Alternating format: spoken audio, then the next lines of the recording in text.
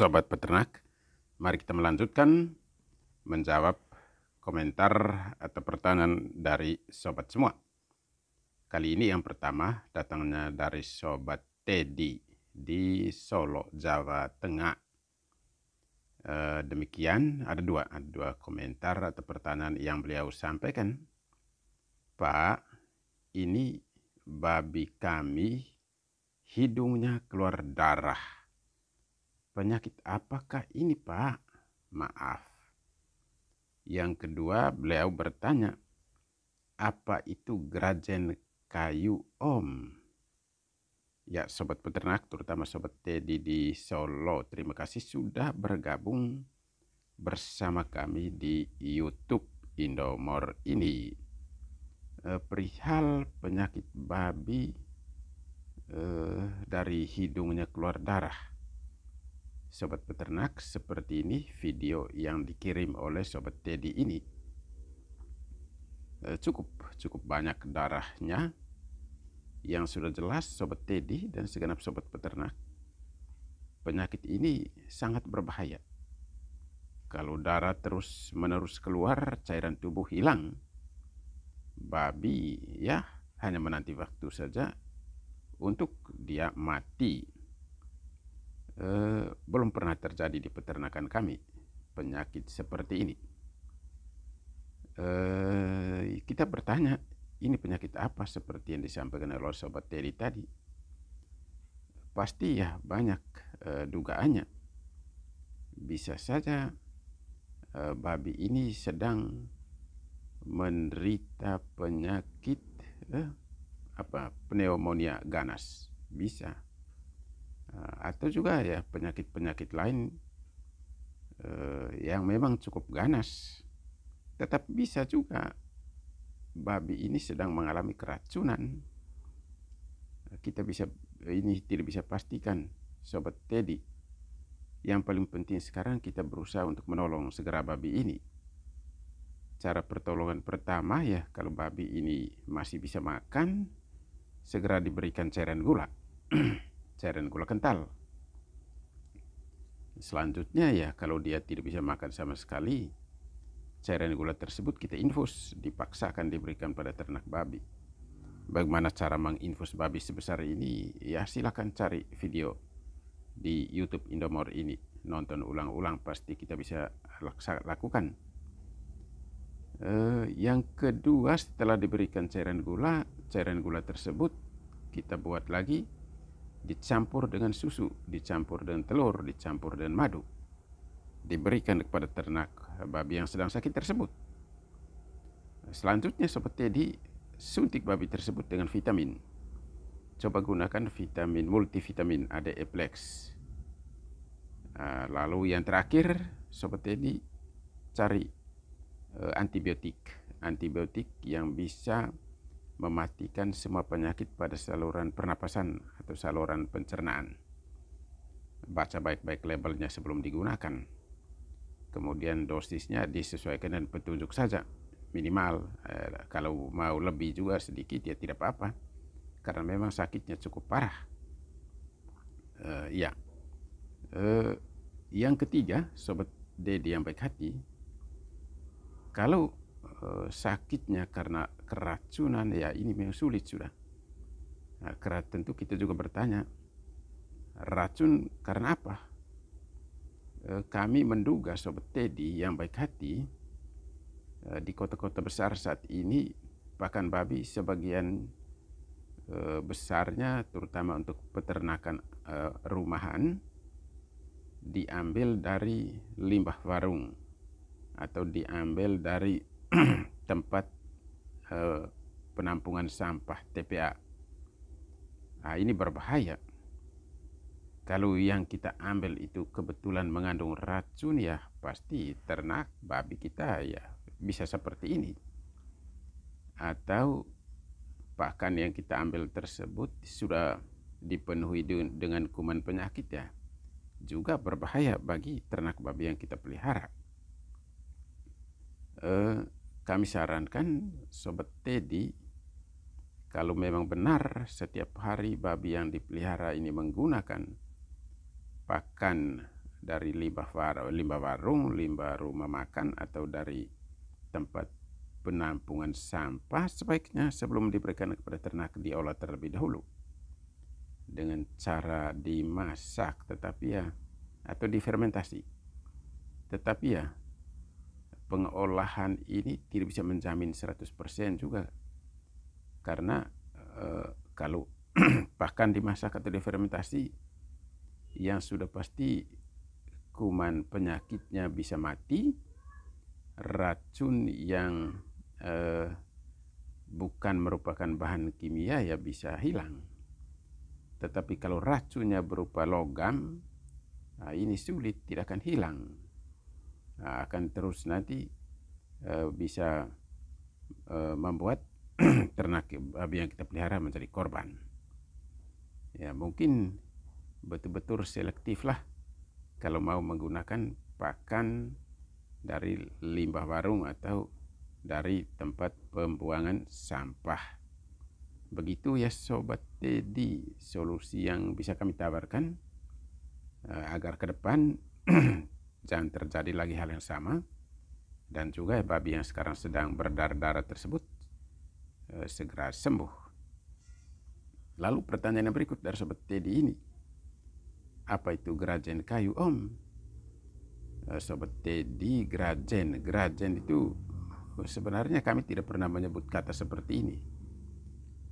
Mungkin kata ini ya, kata yang diterjemahkan sendiri oleh Sobat Teddy. Dan mungkin maksudnya gergaji, gergaji. Jadi kami biasa menggunakan kata gergaji kayu, serbuk gergaji. Nah, serbuk gergaji itu eh, yang ada di bengkel-bengkel mebeler itu sobat uh, Teddy uh, serbuknya kita bisa ambil untuk dijadikan sebagai alas kandang uh, kandang dengan alas serbuk gergaji seperti itu uh, biasa kami sebutkan namanya kandang SBO lantainya. Karena lantainya bukan tanah bukan semen bukan dek kayu tetapi berupa SBO sampah bahan organik. Salah satu bahannya ya serbuk gergaji. Begitu ya sobat Teddy. Eh, yang bisa kami jelaskan. Lalu berikut lagi sobat peternak. Pertanyaan atau komentar dari sobat Ricky Fernandez beliau berada di Maumere Flores NTT salah satu kabupaten di tengah-tengah Pulau Flores agak ke timur Kabupaten Sika namanya ibu kotanya Maumere. E, pertanyaan dari Sobat Riki ini demikian. Kalau untuk fermentasi kira-kira bahan-bahan apa saja yang digunakan dan cara pembuatannya bagaimana? Sobat Riki yang baik hati, sudah banyak video yang berhubungan dengan pakan fermentasi yang sudah kami tayangkan di YouTube Indomor ini kami selalu tegaskan bahan organik apa saja yang ada di muka bumi ini kita bisa ambil, kita bisa cacah halus, lalu dibuat menjadi pakan fermentasi. Misalnya kita bisa menggunakan daun karino yang ada di sika itu, daun balakacida eh, secara nasional disebut balakacida di eh, Maumere sana sika disebut daun karino. Kita bisa olah menjadi pakan ternak dengan cara fermentasi. Atau daun gamal. Kita bisa olah menjadi pakan ternak.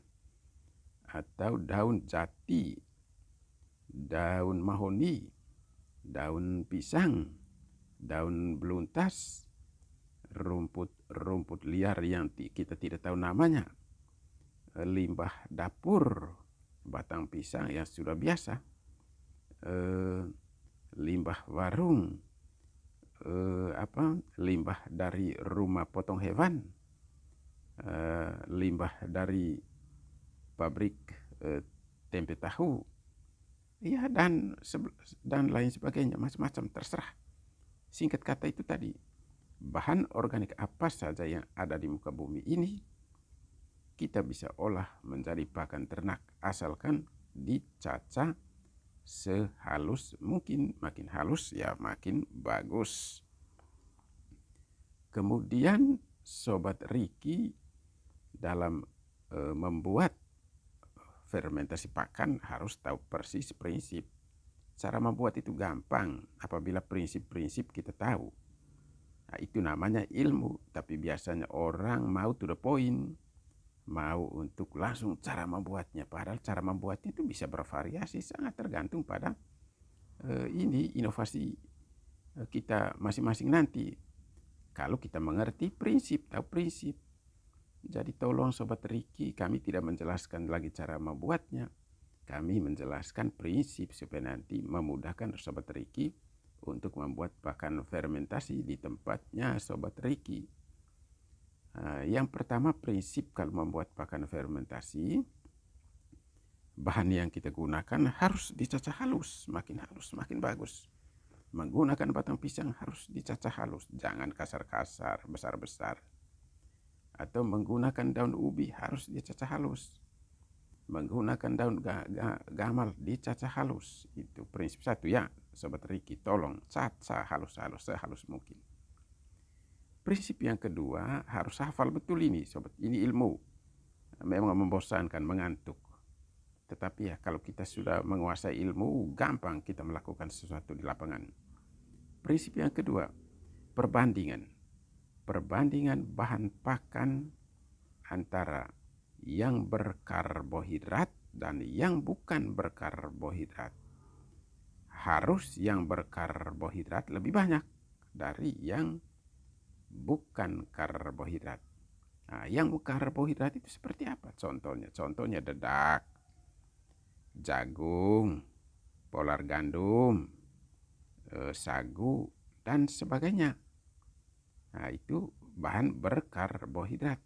Sedangkan yang non karbohidrat ya berupa misalnya batang pisang, daun gamal, daun beluntas, eh, ya daun-daun apa sajalah. Nah, itu bukan karbohidrat. Jadi kalau misalnya kita mau fermentasi batang pisang dan dedak, itu artinya dedaknya harus lebih banyak dari batang pisang, tidak boleh dibuat terbalik. Ini pakan babi, kalau pakan sapi terbalik. Eh, bisa batang pisangnya lebih banyak daripada dadak. Kalau pakan babi, batang pisang harus sedikit, dedaknya harus banyak. Ya, kemudian kalau misalnya kita mau campur jagung, tepung ikan, dedak, dan batang pisang, ya tetap jagung, tepung, eh, jagung, dedak eh, harus lebih banyak daripada tepung ikan dan batang pisang. Jadi urutannya nanti kalau kita campur sobat Ricky Fernandez, jagung lebih banyak, urutan berikut dadak, urutan berikut tepung ikan, urutan terakhir baru batang pisang. Tidak boleh terbalik. Pasti hasilnya bagus, sangat bergizi. Itu prinsip yang kedua. Prinsip yang ketiga sobat Ricky, pastikan kita menggunakan gula. Nah, itu terserah Mau gula pasir silakan, gula lokal apa sajalah silakan. Nah, gula ini sangat penting nanti untuk kita masuk pada prinsip yang keempat. Pasti menggunakan probiotik tertentu. Gula berfungsi untuk mengaktifkan probiotik. Probiotik itu apa? Sobat Riki. Ya, salah satu merek yang sekarang eh, sudah biasa dipakai oleh peternak namanya Nutrinak jamu khusus hewan seperti yang ada pada video uh, yang sedang berjalan di uh, ini di uh, YouTube ini sekarang ini. Nah ini botol-botol Nutrina. Nah, pasti menggunakan probiotik seperti itu. Uh, dosisnya terserah kalau gunakan probiotik. Apakah satu tutupan, dua tutupan, satu botol, satu liter, dan seterusnya bebas. Prinsip yang berikut lagi, Sobat Ricky pasti menggunakan air. Air ini bermanfaat untuk melarutkan gula sekaligus mencampur probiotik tadi uh, hingga merata. Uh, lalu setelah semua bahan kita sudah siapkan, ya kita pasti campur merata jadi satu kesatuan. Lalu mas kita masuk ke prinsip yang paling terakhir, pasti menggunakan wadah untuk proses fermentasi dan wadah tersebut harus benar-benar wadah yang memastikan Tidak boleh ada udara, tidak boleh ada oksigen yang masuk. Bisa ditutup rapat, serapat-rapatnya. Ya itu, Sobat Ricky Fernandes yang baik hati. Prinsip-prinsip membuat pakan fermentasi. Pasti Sobat Ricky bisa praktekkan, cari video di saluran YouTube Indomorni, nonton ulang-ulang. Memulai itu ya pasti sulit, tetapi ya kalau kita berani memulai, lama-lama menjadi gampang. Allah bisa karena biasa. Mari berani memulai. Percuma kita tiap hari nonton-nonton video tanpa praktek. Hasilnya tetap kosong sampai kapan pun Sobat Ricky Fernandes yang baik hati.